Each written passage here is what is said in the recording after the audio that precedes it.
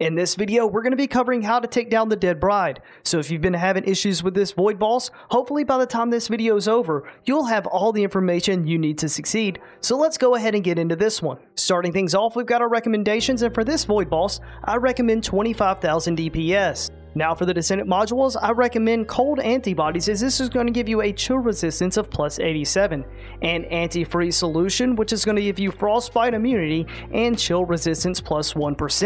In this boss fight, I typically like to start on the left hand side.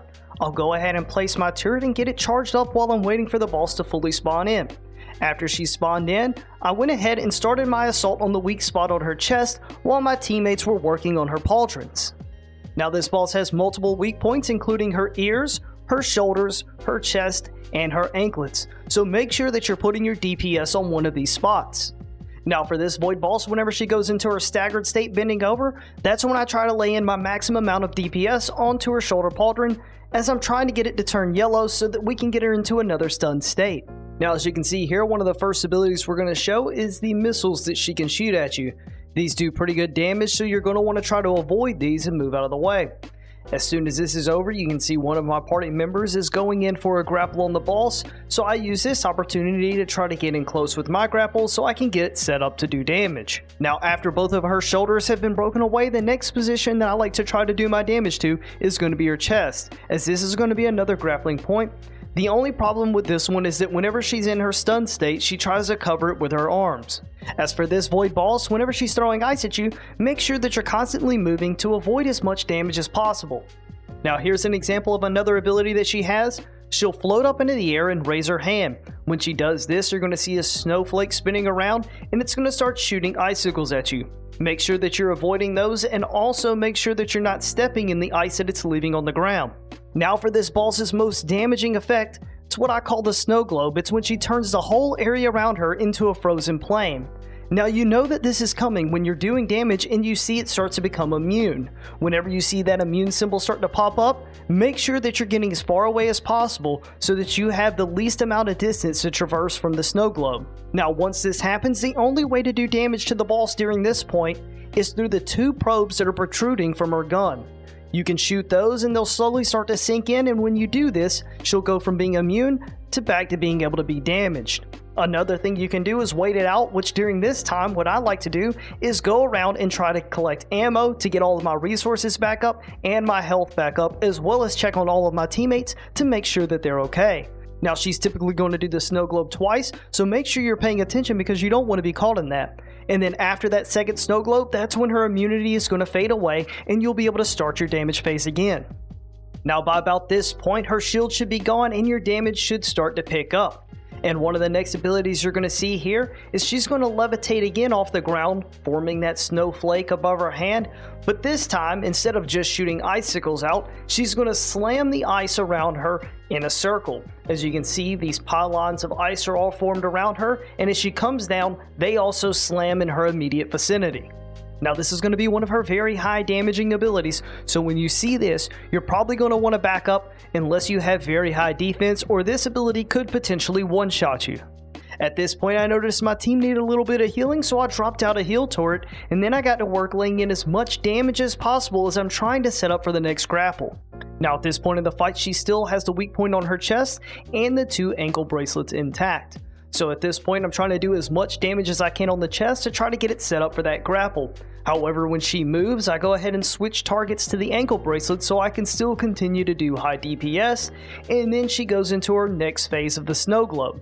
Now once I see that immunity pop up, I instantly try to create my distance between me and the boss. However, while doing so, I turn around and notice that she's already teleported back close to me. So then I go ahead and start creating distance as she creates the snow globe, and once I get out of this, I go ahead and drop a heal for me and the team, making sure that everyone's okay, and give it a quick boost. After doing this, I then go over to kill some mobs and go ahead and work on making sure that all of my resources are back intact so that when the DPS phase comes back around, I'll be ready to go. Now, one of the biggest challenges I find during this Void Boss is actually the struggle for ammo. So make sure that someone on the team is killing all the ads and whenever you need ammo, be sure to keep in mind of where the location is that those ads died, swing back around, pick up your ammo, and get back into the fight. Now, right after I escape this snow globe here, I turn around and I try to get a little bit of damage, but she's too far away. However, what you're going to notice here is a new ability. You're going to see a beam of light charging across the screen, and this is her ice beam that she's charging up. It's fairly easy to avoid as it's a slow charge, and once it shoots off, all you got to do is dodge it. Now, sometimes during these Void Boss battles, unexpected things will happen, and just like golf, you just have to play it as it lies and just press on. Now, one of the next things that happens here is one of my teammates tries to grapple onto that chest piece that's been set up. Unfortunately, though, the game sometimes has an error here where you'll go to break a body part and nothing happens. So this is just one of those things that you have to deal with and move on, and so we just get back to work. Now at this point in the fight, all of her weak points have officially been broken, so all you can do is pelt her with as much damage as possible, which is exactly what we're doing here. And as you can see, the area that we're choosing to aim at is going to be the chest, as this is the area where I see the biggest damage numbers and eventually if you push hard enough, you're going to get her to go into a stun state, which you're going to see happen right here. Now while we had her here in this stun state, this was the best time to sink in as much damage as possible as we're getting close to the end of the fight. So that's exactly what we're doing, we're putting all of our damage into her chest, trying to finish her off, However, unfortunately, I stayed in too long, and by doing so, I ended up taking too much damage and had to back out. While I was backing out to go get healed, little did I know, she had other intentions in mind as she had one more trick up her sleeve. When I turned back around, she was getting ready to set up for one more snow globe. This was going to postpone the fight just a little bit longer. Unfortunately, this is just how it goes sometimes and you just have to press on. At this point, you guys should completely understand how the snow globe stage works and how to avoid it. So once we got out of there, we went and searched for ads. When we found those, we went ahead and killed those, got some ammo, made sure everybody was healed up, and while we were doing this, she happened to teleport in on us to drop her next snow globe. So we went ahead and got out of that, and once this happened, we knew the timer was about up for her snow globe stage for her invincibility. So as it was running up, we decided we would wrap around and get over there to where she was located, and as we all grouped up around her, this is when we started our final assault onto the boss. As we rounded the corner approaching the void boss for the last time, we unloaded all of our DPS into her, and within a matter of moments, the void boss was down, and this was a void intercept complete. And that's how you beat the Dead Bride that pretty much sums up how to bring down this boss. And hopefully, now that you've gotten all this information, you're going to be taking on the Dead Bride soon, and you're going to be able to bring her down and get ready for the next hard boss. Alright guys, that's going to wrap it up for this one. Hopefully you found this information useful. If you still have any questions, go ahead and leave them in the comments down below. And for all things First Descendant related, be sure to check back. And I'll see you in the next one. Thanks for watching.